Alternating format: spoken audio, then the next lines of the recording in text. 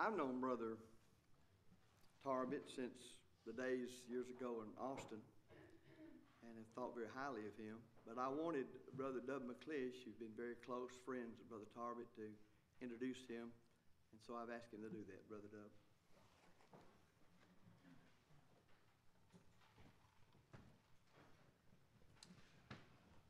Well, I've known Don since Noah got off the ark almost.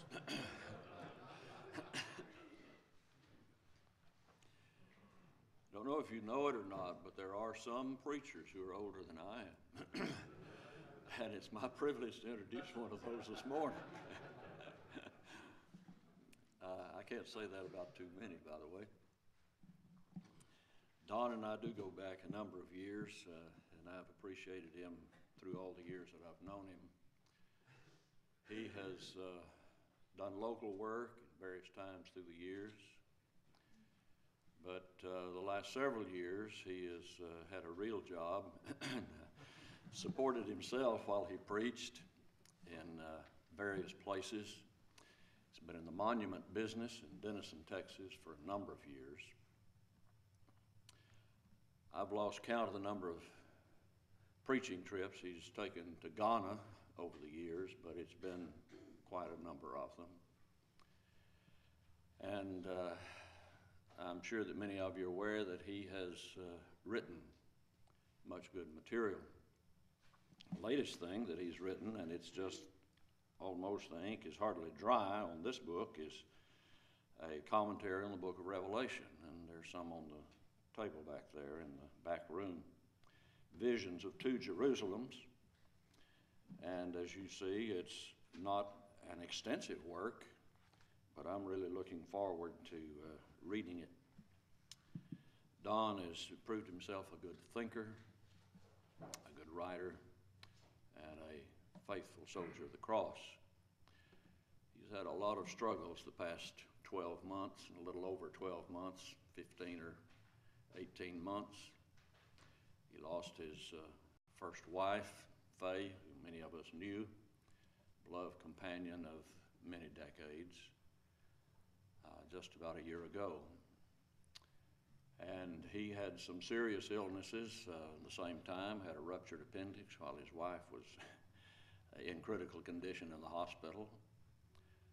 And uh, so this knocked him down physically as well as uh, otherwise. But he's recovering well, and we're thankful for that. And he has met a lovely lady, uh, Jewel, who is here with us today and she's sporting a uh, ring on uh, one of her fingers that uh, Don said uh, he got in a Cracker Jack box and just thought he'd give it to somebody.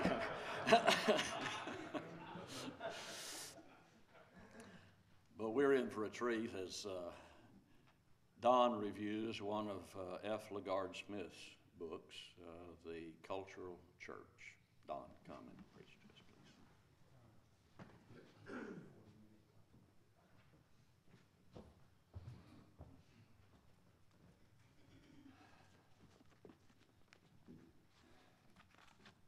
Thank you, Brethren Brown and McClish. Thank you for the opportunity to be here this week. I'm grateful to the elders for allowing me to be here and for the fact that you kept me on your prayer list along with my wife before her passing several months ago, and uh, we appreciate being associated with good brethren. I think all of us can give our thanks to the women for the good food they've provided we need to keep those good sisters in mind and all who have helped with that.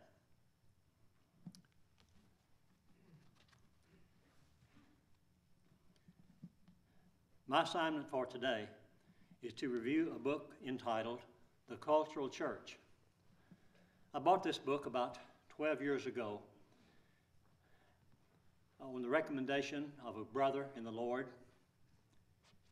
and I read it I appreciated a whole lot of things that were in the book. Then came the opportunity to review it for this lectureship. And I didn't remember very much that had been said, but I did have it marked up pretty well. I contacted the preacher who recommended it to me and said, What do you remember about the book? He said, I don't remember, but it, there must be something wrong with it. And I felt perhaps the same way. I want you to know that I'm not responsible for anything else LaGard Smith wrote since the writing of this book. I found this book to be a fairly good book on hermeneutics. And my presentation today will not be highly critical all the way through. There are some things we're going to deal with, but I want to observe some of the good things that are here, and they will be helpful to us in the struggles that we're facing. It was about 35 years ago, as I recall, when so many of the thinking got out in thinkings got out into the brotherhood about uh, the new hermeneutics. I read a lot of those things that came out of Pepperdine and Abilene, and many of them referred to one particular man who happened to be the Bible chair director in Grayson County, where I live. And I got some of the material that he had, and I noticed that he was so influential that with some of those brethren, that they would often, often quote what he had to say, as if he were the final authority in these matters. He wasn't, and we all knew that he wasn't. Anyhow, I read the book, The Cultural Church, again, and want to call attention to some things that Brother Smith has to say. He divides the book into three major parts. Part one deals with the efforts of some to call for a new system of hermeneutics. Part two deals with the irrational efforts and the consequences of these hermeneutics if they were accepted. And part three seems to be an effort on the part of Brother Smith to reword our present system of hermeneutics so as to create a better understanding on the part of everyone. I want to begin with a quote from Brother Smith on pages 14 and 15. The first premise of this book is that the church is at great risk of becoming a cultural church. By that I mean a church succumbing to a culture which is, in the last two deca- decades, has radically changed the way it sees the world, and even in a secular mindset that has little regard for the authority of God's revelation. The second premise of the book is that recent calls for a new hermeneutic may reflect the cultural influence more than any of us are prepared to admit. End of quote. He goes on to say, we need to point out that by culture, we're not talking about physical conditions. And as we think about this, we know that culture does change through the years from one country to another, from one decade to another. But the kind of vehicles that we drive, are the kind of tractors that we use, the way we plow our ground, those things are not the kind of cultural things that we're concerned about. We're talking about those moral and spiritual issues that are debated, and minds are changed because the secular and the religious world is so influenced by these sinful practices, such as same sex marriage, abortion, living together without license, the use of alcohol, and various types of drugs, a number of moral and religious spiritual issues. And those are the things that seem to be influencing us. And as we move along, we are always prone not to be as critical as we once were, and thus the climate has changed. And with the idea that whatever is right with you is right with God, whatever pleases you pleases God. And we want to be politically correct. We don't want to be disagreeable in any sense of the word. Therefore, it calls for some way to reach a different conclusion that we've reached before, and that's what we're talking about in this idea of the cultural church. Now, we should not follow a multitude of people to do evil. Moses gave that instruction to the people, and the Apostle Paul said, Be not conformed to this world, and whatever may be legal is not necessarily right in the sight of God. Brother Smith went on to explain that hermeneutics simply means the method by which we understand the original intent of Scripture and how we decided such methods. He is careful to define the old hermeneutics as command, example, and necessary inference. Now, many of us would differ with the use of that word inference because implication seems to fit the picture better. That comes from the writer or the teacher, while inference is something we draw from what has been implied. But nevertheless, he uses that term as we will some, see in some of these quotations. Now, Smith warned against a common enemy that threatens to consume us all, and that what we're seeing now is going to seem like child's play compared to what we will soon be hearing from today's youth. And you may have read some things from other books that Brother Smith wrote after he wrote this one that seem to indicate a different change in philosophy. But like I say, I'm not responsible for those things, but this may be some of the things that were involved in his thinking.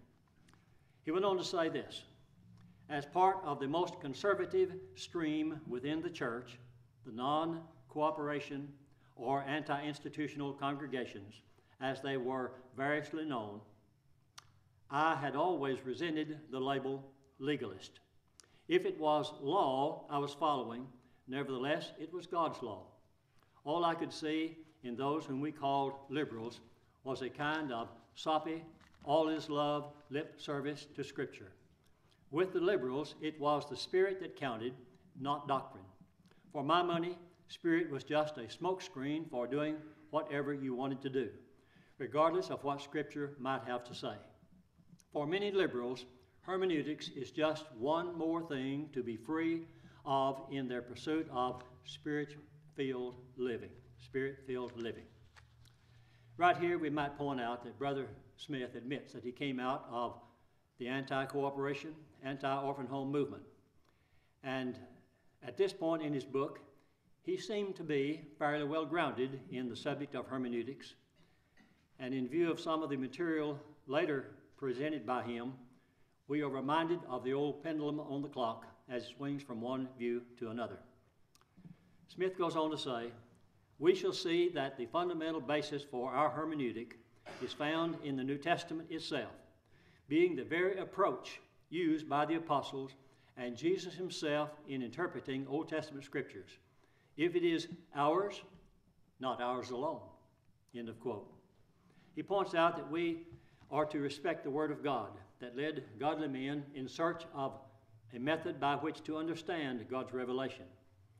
And he pointed out that our hermeneutic is different in that it, is, it commits us to the authoritative leading of the Scripture and not a substitute for the Scripture. He states that our hermeneutic has a nickname called pattern, which is really the pattern of sound teaching and that patterns do matter because they are God's patterns. He re- referred to the fact that the era of the independent Christian church is to refer to God's patterns as models, which would put a less restrict approach that may have resulted in the increased role of women in their congregations and also the use of instrumental music in worship.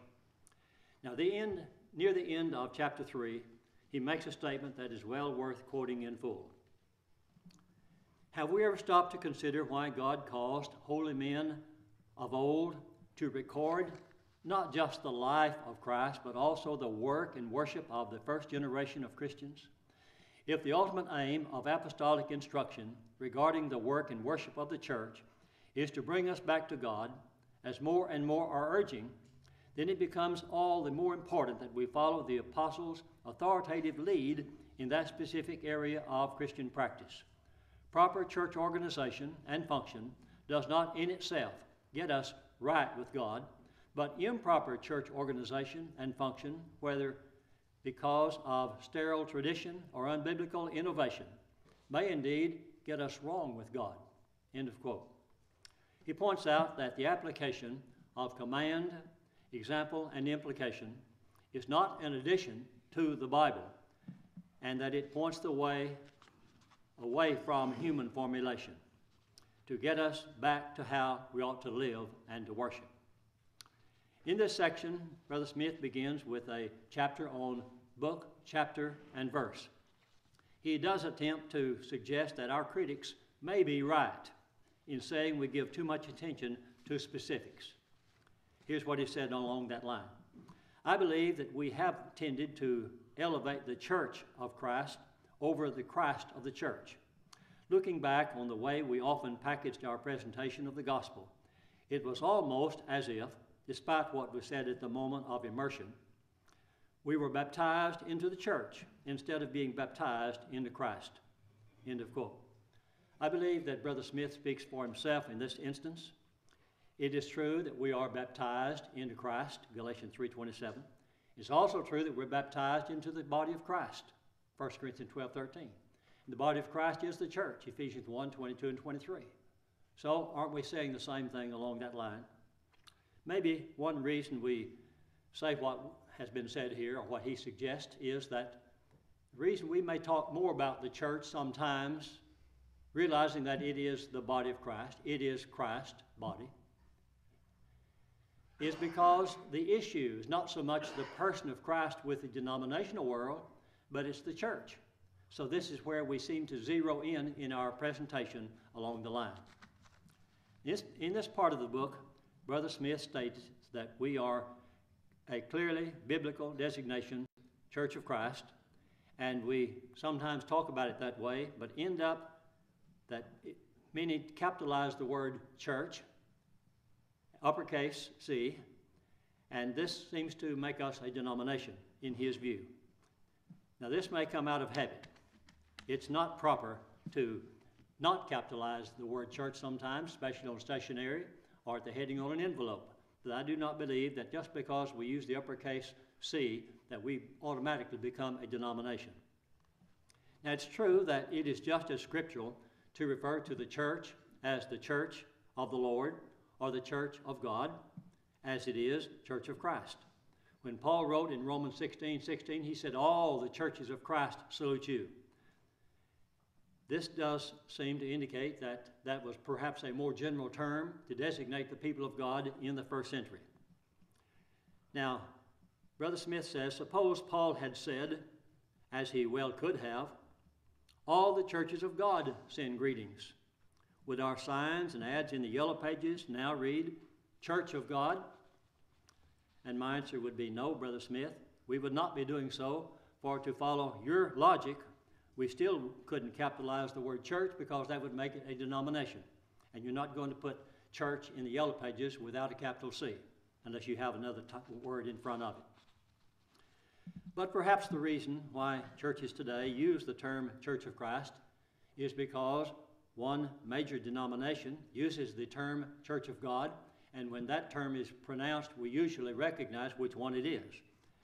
And in order not to be a part of that group, we use the term that no one else wants to use the Church of Christ. The world seems to be antagonistic toward that very term. In the first century, when there were no denominations to compete with the Lord's church, it was then relatively easy and unobjectionable to use any of these terms without fault. On pages 55 through 58, Brother Smith has a good dissertation on the advantages and disadvantages of documenting our messages with a particular verse and giving the exact location. Now, in the first century, they weren't able to do that because they weren't numbered in that period of time. But we must not forget the context. And that's what he emphasizes the fact that we ought not to forget the context. Well, I do not believe we should.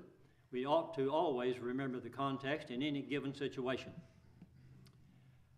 Smith does point out the value of one verse in context is that of Galatians 3:28, which some of our critics have taken out of context to attempt to change women's role in the church.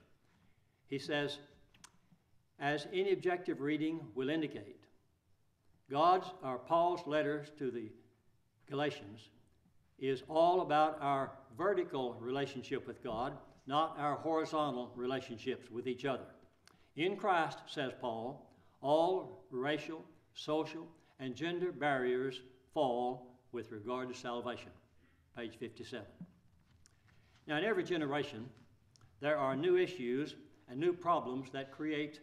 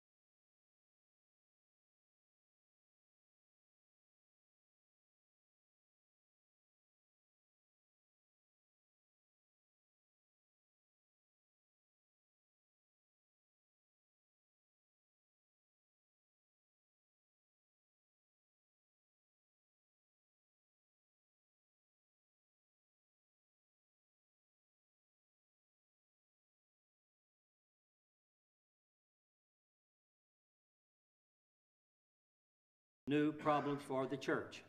Many of these problems disguise themselves under different names, but basically, they are the same old issues we've always faced. Now, perhaps LSD and marijuana were not well known by word a hundred years ago, but the principle of drunkenness and intoxication is still taught in the Bible, and we can always fall back on these principles. Though these new issues need to be put into force, dealt with based upon the old principles, without claiming to come up with a new approach to find a way to justify some of these things. Smith says this Yet we must not give up on our hermeneutic simply because it may be suited to answering some questions better than others. Would we throw away a hammer simply because we've discovered there are some screws needing attention rather than nails? Of course not. When there are nails to be driven in, we still need a hammer. Likewise, whenever we look to the work and worship of the church, we must have some way of determining from the Scripture how God wants us to proceed. Then he closes chapter 5 in part 1 with some good comments. There is no issue in any age about which God has remained silent. Somewhere in the Scripture, look for it, God has spoken. And the chances are good that His words come to us in the form of some command, some example, or perhaps some inference, which we can draw from more direct biblical instruction, even if it sometimes is found in such unlikely places as the many regulations regarding church organization and function. This is the most radical question. Are we willing to trust that somewhere down the dusty road of the first century Judea, God has led us in paths of right living, even for a global community heading into the 21st century? End of quote. That completes part one of his book. Part two, in this section, he deals with some of the excuses offered by some who contend that we need a new method of interpreting Scripture, as well as pointing out the consequences of leaving the old hermeneutic of command, example, and impl- implication behind. In our time, most everything has to be politically correct. We're not to offend anybody or even hint that truth is only in one body of Scripture and in nothing else. We want to be tolerant of everyone's views without disagreeing with them, and then not leading them to the truth of God, or even letting them know that we have an insight to God's will that they may not have because they haven't read the Scripture. It is truly difficult to be tolerant to any and all forms of error. We're supposed to be tolerant to those who may disagree with us, but when they disagree, they become politically intolerant of us as we espouse a different view. It's sort of like not being so unkind as to even say Jesus built one church, and then the individual with whom we may be discussing these things believes he did build one church, but they're in it, and we're not. So they become very intolerant of us. Then there is a discussion of a utilitarian hermeneutic, or attempting to develop a new hermeneutic simply because, after applying the old, we still have problems. Because the old simply doesn't work. And whatever works is right. Now, this suggests that each individual should have his own private means of applying Scripture, for whatever works for you is right. Now, Brother Smith deals with that. He gives two examples of what is not working. First, the introduction of instrumental music in worship, because how are we going to keep our young people if we don't liven up our worship? And it's not a matter of whether the use of the instrument is right or wrong, but what we need to do to keep our young people going and keep them interested in the work of the Lord. We ask, why is this generation of young people so different than previous generations? In past generations, very few saw the need to liven up the worship to keep the young people. They were simply taught what's right and what's wrong. And together, we followed the scripture. Along this line, there are some that want to change the kind of songs that we use in worship and even to abandon some of the old songs that we've used for so long. Many of those old songs were new to us at one point in our lives as we were young, and they're just as new to young people today. if we let them be. However, many say the young people are tired of the old songs, so they want to borrow some of the hip hop songs of the Pentecostals, as well as trying to bring in the instrument with them. Now we wonder why some of the older Christians are not really the ones who are tired of the old songs. Maybe we've been here so long, we're tired of singing some old songs. But nevertheless, it may be that the older ones are the ones who are wanting to make the changes along this line and using the young folks as an excuse. Are we failing to instruct our children anymore as to what God wants? Is it because of our lack of knowledge that may be destroying us? The second example that Brother Smith gives is to deal with that of giving women a greater role in the church.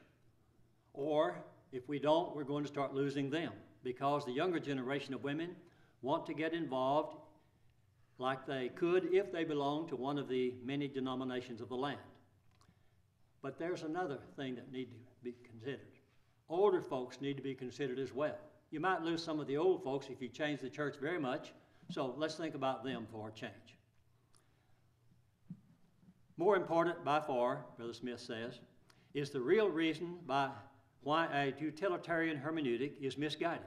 It simply doesn't stop to ask what God thinks about whatever question is of concern. If there is anything of which we can be certain from a careful study of the Bible, it is that God does not operate on the basis of majority rule or power politics. End of quote. We need to remember what God has to say, that his ways are not man's ways. Isaiah 55, verses 8 and 9. And regarding the new hermeneutic, Smith says this The women's issue is a perfect catalyst because it combines utilitarian practicality, current notions of political correctness, and an obvious case of, for tolerance, all in one neat package. He recognizes that, and I think we do today as well. He points out that there are seven basic reasons for male leadership in the church.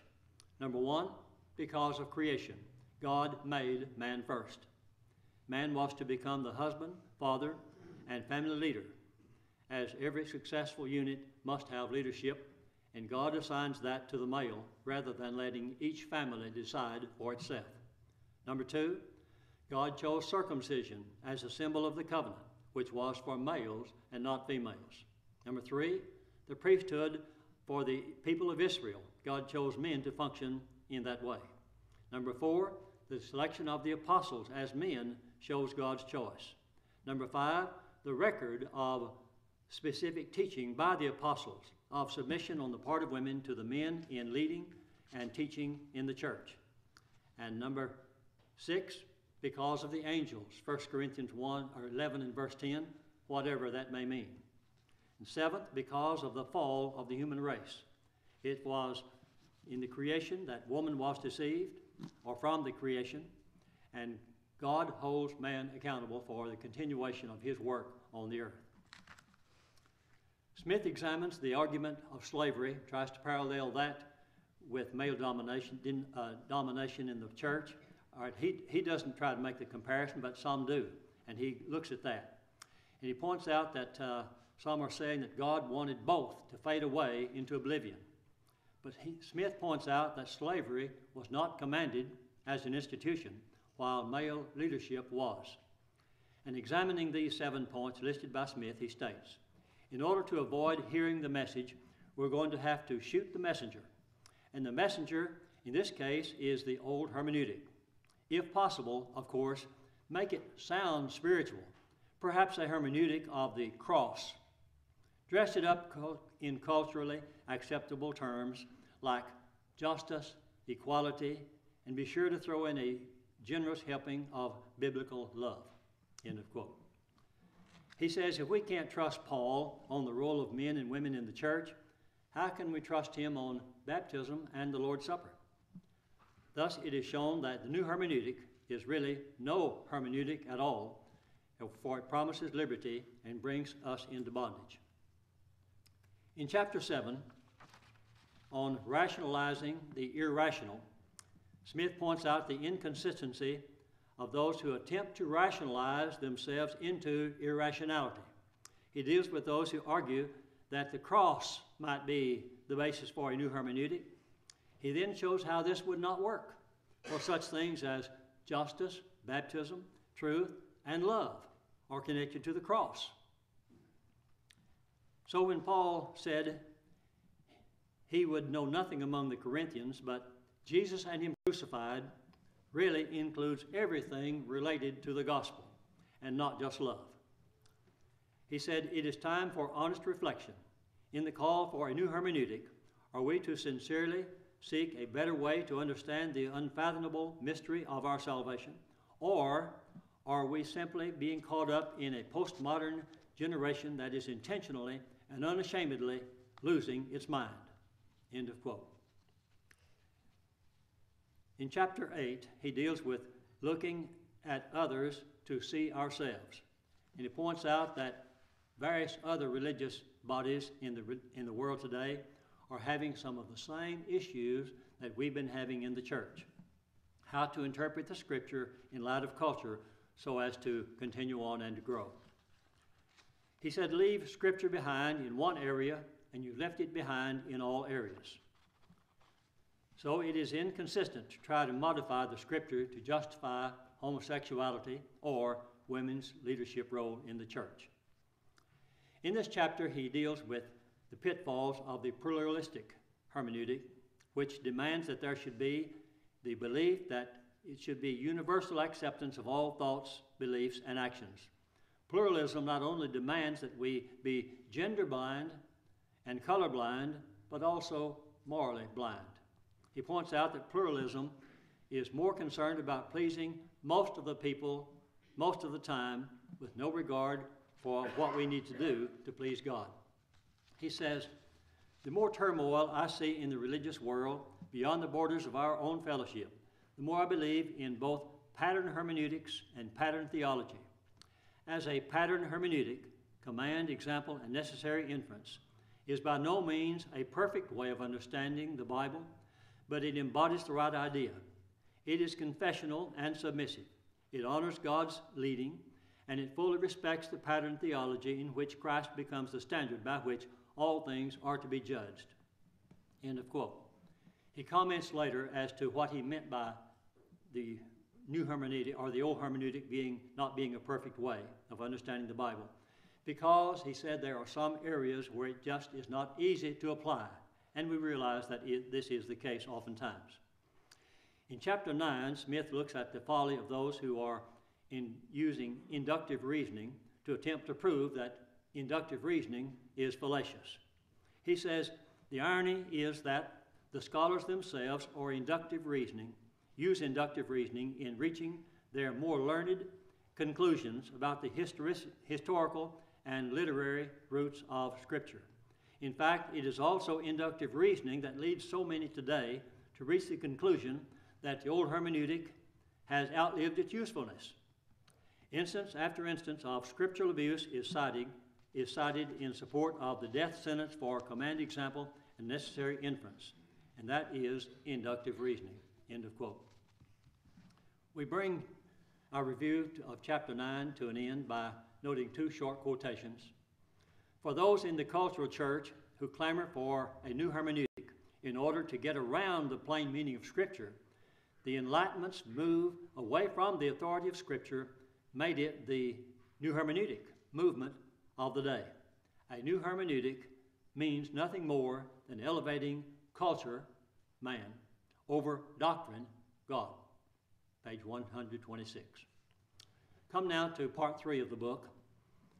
Chapters 11 and 12 make up this section in which Smith proposes a new formula for understanding the old hermeneutic.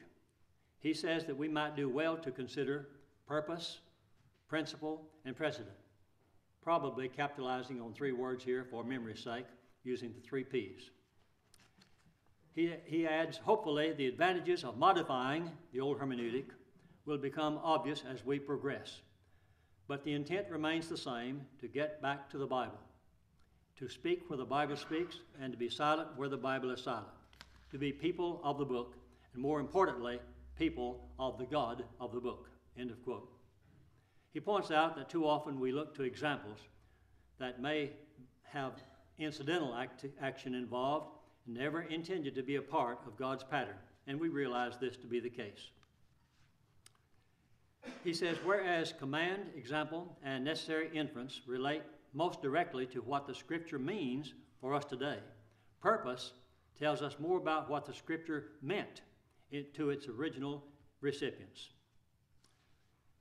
He also observes that not all biblical commands have the same significance to us now as they did when first given. For example, the holy kiss illustrates this, but he says behind that there's the principle of a good relationship in the body, body of Christ. Another example is that of the veil in 1 Corinthians 11. And the principle here is that of women being under the headship of men, though it may be shown in various ways. And custom then was a proper use of the veil. He said the veil is being commanded only because its removal violates the principle of male and spiritual leadership. End of quote. Smith then moves on from purpose to precedent and points out that the word precedent was used a lot by the restorers of generations past. And he looks at the case of the disciples at Troas meeting on the first day of the week, combined with other passages like 1 Corinthians 16, shows that their example set a precedent. However, there were many lights where they were assembled together, and the service lasted till midnight, and we know that, that that's not a precedent that is required of us today. They are but incidentals and have no spiritual significance. Smith points out that there are three ways of approaching an example to determine if it has any authority today. First, if there is an independent spiritual law or rule elsewhere that may show the basis for what is exemplified. And second, if there is an indication of an example leaving or having universal application. And third, if the examples represent stability of teaching over time, showing that such was expected of them. Now, regarding inferences, he said, We live by inferences. As a matter of fact, without inferences, the Bible itself has no meaning to us at all. Consider for a moment that not one command in the Bible is aimed directly at any of us. No command or example has our name specifically written on it. Nevertheless, we rightly infer that what God directed others to do is equally our duty unless the sense of the context indicates otherwise. When Jesus gave the Great Commission, he said, You teach them to observe what I commanded you, as if to say this is to go on until the end of the world. Then we remember 2 Timothy 2 and verse 2, where Paul charged Timothy to teach others to do what he, Timothy, had learned from Paul. And this was to be handed down to each generation. Now, regarding principles, he says, What principles do that rules cannot do is to bridge centuries of cultural change and always be applicable to the church in any culture. Not that culture determines the principle, but that principle answers the continued need of culture as it evolves. As culture changes, there is a temptation to alter external forms of worship so as to be more culturally relevant. In order to alter the outer forms, it often becomes necessary to minimize the impact of the scriptures which initially established those forms. That, of course, is a nice way of saying that, at least in some instances, we must overrule Scripture in order to achieve the intended result. End of quote. Now, he's not saying that we need to overrule Scripture, but at least he does want to deal with that as a possibility that some would advocate. Brother Smith chides those who claim a working of the Holy Spirit in their lives as an excuse for doing what the Bible plainly forbids. He states, We must acknowledge that the Holy Spirit tells us nothing more than that which is written. And he's correct in that. Then Brother Smith appears to go against this principle by saying, We have come to accept the providential working of the Holy Spirit in our lives as a result of the gift of the Spirit, as per Acts 2 and verse 38. Well, how can we accept such? I ask. Has the Spirit told us that is the case? Joseph attributed providence to God And Paul, when he alluded to providence in one of his epistles, said, perhaps. Neither were very dogmatic as to say, this is the work of an angel, this is the work of the Holy Spirit. They did not conclude that. So I ask this morning, why bother to speculate as to which member of the Godhead is doing certain things for which we have no proof? If many times we hear something said, we know something takes place, we always want to say, that's the Holy Spirit doing that. And that's something that should not be done. Leave all of these things to God as far as His working is concerned. Then, Brother Smith goes on to say that the Spirit enables him, LaGard Smith, to open his mind to receive the truth and helps him in the discernment of truth already revealed and strengthens him to apply in his life what the Spirit has written. I think this is a dangerous statement. I know he says to me, but to say something like that is to suggest that it is also the case and could be and should be the case for you.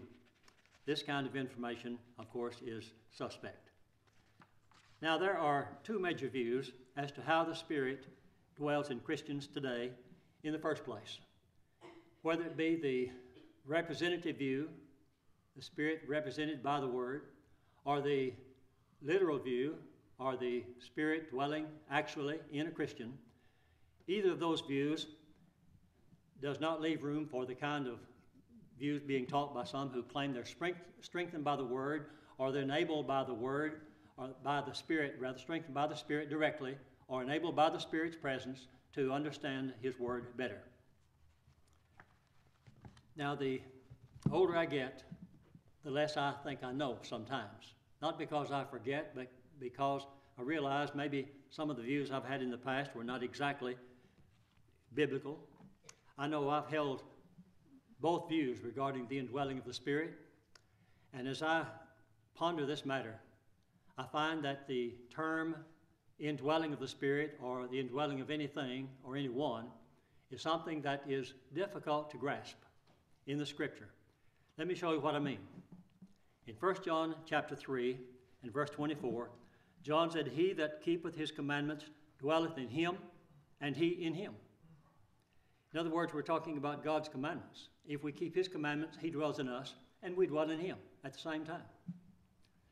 Then in uh, verse 12 of 1 John 4, if we love one another, God dwelleth in us, and his love is perfected in us. Now, so if we have love, God dwells in us. Hereby know we that we dwell in him, and he in us, because he hath given us of his Spirit. Then, verse 15 Whosoever shall confess that Jesus is the Son of God, God dwelleth in him, and he in God. And we have known and believed the love that God hath to us. God is love. And he that dwelleth in love dwelleth in God, and God in him. Now, I believe that we can see here that there is some difficulty in trying to explain how God dwells in Christ and Christ dwells in God at the same time. Or that God dwells in us and we dwell in God. Could be that these are simply figurative terms to understand a relationship that we have in fellowship with the Spirit. We know that we are baptized into Christ. We're not literally in Christ. We're not representatively in Christ, but this is a figurative expression to illustrate the fact that our relationship with God, Christ, and the Holy Spirit has changed. These are matters that I would love to understand more about, and perhaps maybe I will at some future time. Chapter 13 brings to a close a lot of information, and there are some wonderful things said in the book, some golden truths, but uh, I'll not take time to get into them at this point. One other point that disturbed me a little bit was his use of the word wine in reference to the Lord's Supper. We know that uh, it is never used that way in the Scripture, not even a word that could be translated intoxicating drink or non intoxicating drink. The Lord didn't use that term even to give anyone a leeway in that matter, but He used reference to something that showed the contents of the cup that it would be in accordance with what we do today.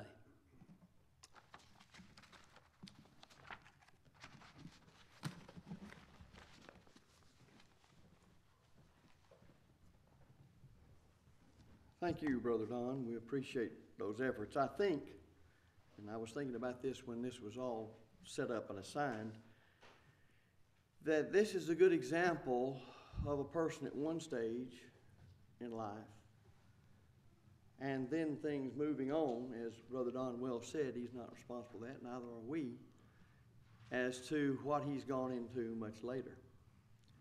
Um, I think it's good to remember James D. Bales, who some of us had in school and appreciated so much.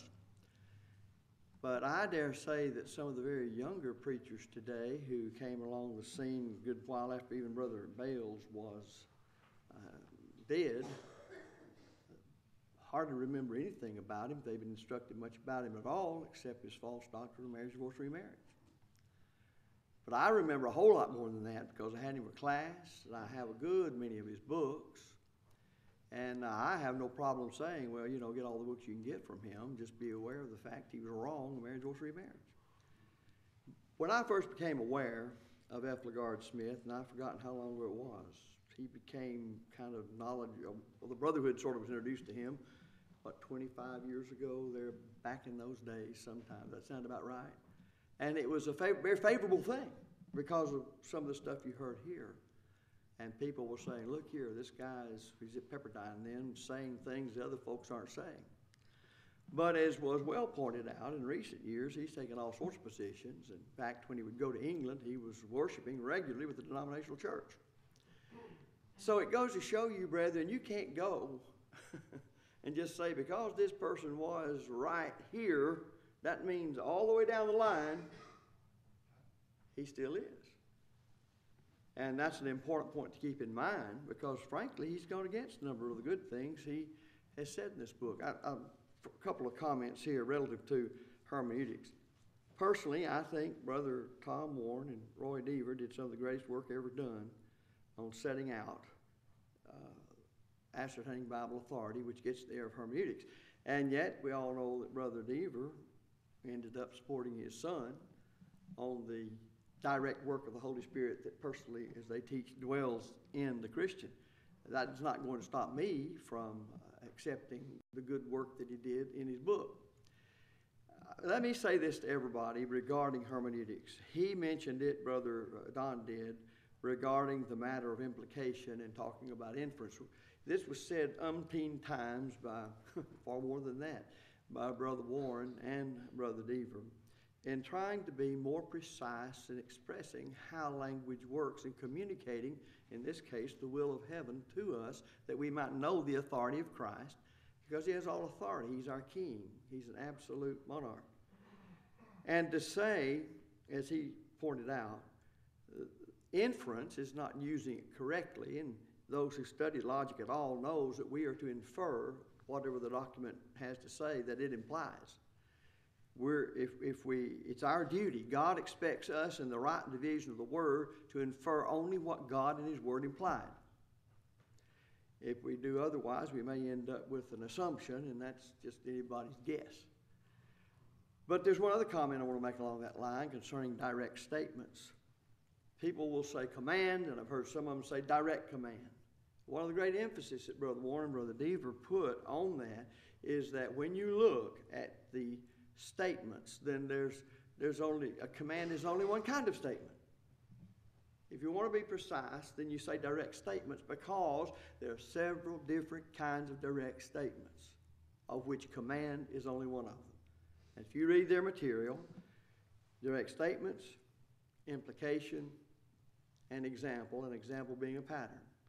Now, the question regarding example is, and I noticed that Smith just said the examples of the Bible. You've got to ask yourself the question Does this Bible account of this action by the brethren constitute an example or a pattern? We have to learn when that's so. He touched some on that. So that's important. Uh, the book, chapter, and verse citations. Of course, they couldn't, as Brother Don well pointed out, do that in the first century because it wasn't there. These things are expedients. That's the only way you can look at them. If you'll notice in the Bible, Paul will say, in a certain place. That's the best you could do. So, do you think Paul would have said Acts 2, verse 38, if it had been that way? And he had lived the night? Certainly he would. It, it's a good way to say, here's exactly the verse and where you can find it. So it's a help, just like a concordance is a help. I was thinking about the young people and accommodating young people, you said this, and it brought to mind something in about 1973 or 4 when we lived in Van Buren, Arkansas. The elderly couple that lived across the street from us at that time were members of the Methodist Church. And we were visiting one day, and he was really upset because he said the young people at the Methodist Church wanted to be together and do their things, and they wanted to sit on the floor during the assembly. And so, being of that mindset to accommodate, then where the young people usually sit, they, they removed the benches so they could sit on the floor. Well, they put up with that until, guess what? The young people wanted everybody to sit on the floor, and they wanted all the benches out. And he said, we weren't going that far. But that's what you get into, and that was about 1972, when you start this business of being politically correct and catering to the whims of the people. Now think about that catering to the whims or the hobbies or whatever it is of the people. Let me emphasize again that the errors later taught by F. LaGard Smith that he's known for now have eclipsed much of any good teaching that he did. I believe I'm right when I point out that uh, he is now teaching that there is no eternal hell that a person goes to is lost. And uh, that kind of thing. Brother Dub, you look like you have something moving you. Don't you think that the seed of where F.L. Smith has gone since the good material in this book is found in his illumination view of the Holy Spirit? That's what over That's the last point. for everything else. Yes, sir. That was the last point I was coming to. I'm glad you, frankly, I'm glad you put it in the last part of the book because I think that's going to allow any, if you hold that view. I was going to use this illustration. Some of you are old enough to remember that when we had the Cold War going on, that because the United States and USSR were the superpowers they were, and they held in their hands, each one of the power to virtually destroy civilization. And because they were so scared of one another, that you remember what was placed in the White House and in the Kremlin? It was a hotline. So that if a terrible thing happened, the two people could talk, the two heads of government could talk directly to one another just by picking up the phone. Well, years ago, Brother G.K. Wallace, as those men were very capable of doing, pointed out that anybody that starts this business of the Holy Spirit directly in you, personally guiding you, not depending solely on the instruction of the sword of the Spirit, which is the Word of God, said in effect, that person is telling you you got a direct hotline to God.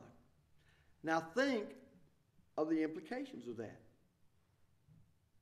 That means that beyond the instructive powers of the sword of the Spirit, which is the Word of God, the infallible Word of God, the complete Word of God, the final revelation of God to man, that you have God giving you the, I used it Sunday morning because that's what uh, Terry Rush said, secret signals. Every one of these fellows come back to this. So he's got insights by his direct hotline to God through this direct to the uh, Spirit on his Spirit to see things. And when you start that, there is no end to where you can go because any thought that crosses your mind, how do you know, in view of your own doctrinal position, as stated, as you well stated, that he said, is not leading and guiding you. It's the Spirit talking to you. Because you've already admitted he does lead and guide you beyond the words of the sword of the Spirit, the Word of God. And I think Dub hit it right on the head. I think that's exactly what happened to these folks. It, you know, you can see he knows what logic is. You can see he sees it. Well, if you believe the Holy Spirit's personally in you, directly connected to your spirit, and giving you information and strength beyond your knowledge and will to obey the Word of God, then why wouldn't you come to different views and different ideas? Because you got a direct hotline to God through that direct work of the Spirit. I just wanted to add those things on there. Appreciate the work that you did. And it tells us, like if you go back and read Rubel Shelly in the 1960s and early 70s, you're going to find some good stuff there too. Brother Bales, yes, you're gonna find some good stuff there too, but you don't have to go back that far. There are some brethren in recent years who've taken positions one, some time ago that was right in harmony with the Bible, that over the last six years they're not taking any more. Now, what does that say to us, brethren? If that can happen to them, what about you? And what about me? Thus, as Paul said, we're always, every day, must be on guard. Because what can happen to another person, since I'm a human being moved by like passions just like that person, it can happen to me unless I put on the whole armor of God and use it every day. Because what's Satan doing every second of every minute of every hour of every day of every week of every month of every year? Like a roaring lion going about seeking whom he may devour. Wherefore resist steadfastly in the faith, in the system of faith that's the New Testament. And I wanted to add that stuff to it because this is a good example of where people can get people's attention by teaching some good things. And then, the way people are, you know, he's my preacher. He can't do any harm.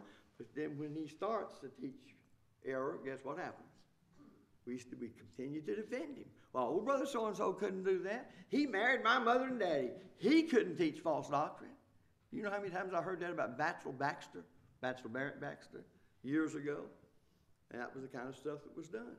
Don't let that happen. As far as I'm concerned, and your attitude toward me, and my attitude toward you, and our attitude one toward another, let's make sure that we're always testing the Spirit to see whether they be of God and realize Satan very well would use somebody you trust and love to get to you. Certainly happened many times before. Well, we're a little past time. It'll take a second or two, just a second or two before we get started. Thank you for listening to me, Brother Don. Thanks so much.